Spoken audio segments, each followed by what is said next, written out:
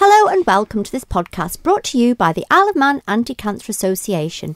My name is Sandy and I'm the Executive Officer of the Association and a cancer survivor. And my name is Malcolm, Chairman of the Isle of Man Anti Cancer Association and a former surgeon. In this podcast, we want to talk about testicular cancer. Testicular cancer is a cancer specific to men and occurs when cancer rises in one of the two testicles. The testicles are often more commonly referred to as the balls or the nuts, and many other names probably not mentionable on the radio. Blokes listening may start to feel uncomfortable at this point, but it is important for us to talk about testicular cancer as it is, a, it is potentially curable if diagnosed in its early stages. Although testicular cancer is rare in comparison to other cancer types, it is still the most common cancer in men aged between 15 and 45. On the island, there are roughly two men diagnosed each year with this type of cancer. Men in the 15 to 45 age group often think they are invincible and have a laissez faire attitude to many things, including any potential health issues. However, testicular cancer caught early has a 98% chance of a cure, so it's very important to be aware of the signs and symptoms. So, what are the signs and symptoms of testicular cancer? What should men and or blokes look for? The most common symptom of a testicular cancer is a lump or swelling in one of the testicles. The lump can be as small as a pea and will usually be in one testicle only. The majority of cancerous lumps in the testicle are painless. Another symptom is the scrotum or ball sac may feel heavy or you may get a dragging sensation or a dull ache within the scrotum. If you notice any change in your testicles, maybe that one appears or feels different to the other, please go and talk to your doctor about this. Now, there are some risk factors associated with development of testicular cancer. The commonest risk factor is having an undescended testicle. Not many people know that the testicles develop within the abdomen and normally move down or descend into the scrotum just prior to or after birth.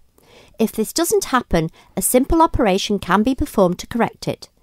Research indicates, however, that if this is not performed in the first decade of life, the risk of testicular cancer increases.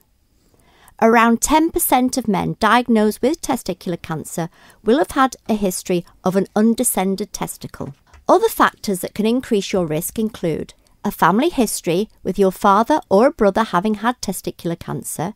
Height may also be a factor, tall men having a greater risk than shorter men and sitting for long periods can increase your risk.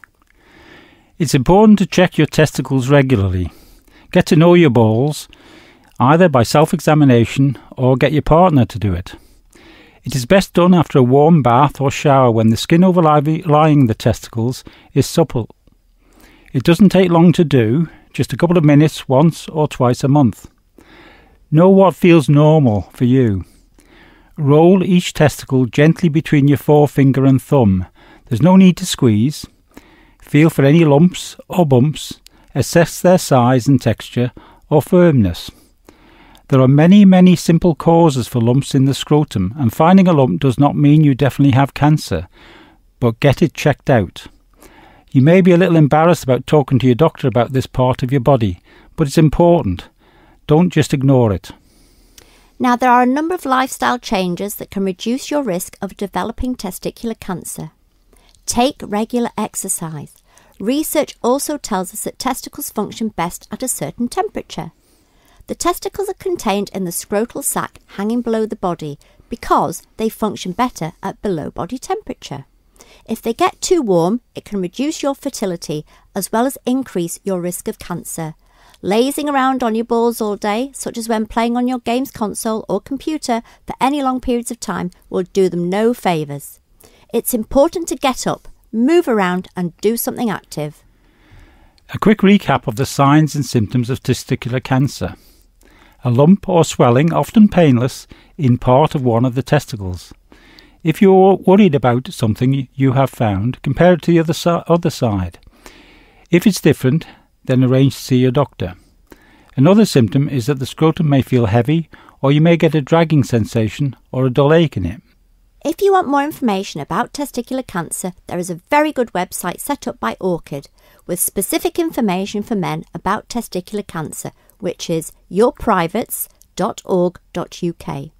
Also, if you do have concerns, they have developed a handy checklist which can be printed out and filled in prior to speaking to your GP. It's important to tell your GP everything that's concerning you so you can decide what to do next. So go to orchid-cancer.org.uk slash news slash orchid male cancer checklist. And of course, on the island, you can contact the Macmillan Cancer Information Centre and you can phone them on 650 735 or have a look at their website, which is macmillan.org.uk. Thank you for listening.